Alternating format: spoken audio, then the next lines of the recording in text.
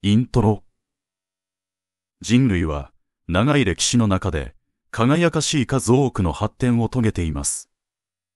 しかし、長い歴史の中で嘆かわしい数多くの非道を重ねてもいます。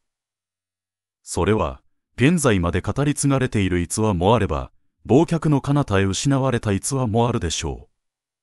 そして、広く世間に知られていることもあれば、まだ誰にも知られていないこともあるでしょう。私たちは、彼らの知見や英知を踏まえ、愛情深い社会を実現する努力を必ず続けます。なぜなら、先人たちと同様に私たちもまた、各々に課題と向き合いながら、皆で生きるからです。課題は、多く複雑で難しいかもしれませんが、根源は、少なく単純でたやすいかもしれません。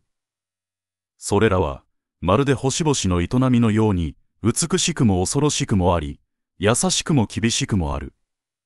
種となるのは、私たちが何をどう感受し、何をどう認識し、何をどう行動するのか。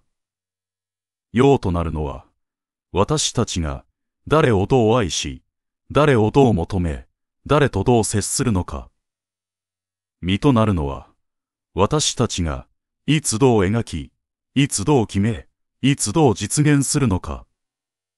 私は率直にそう思うのです。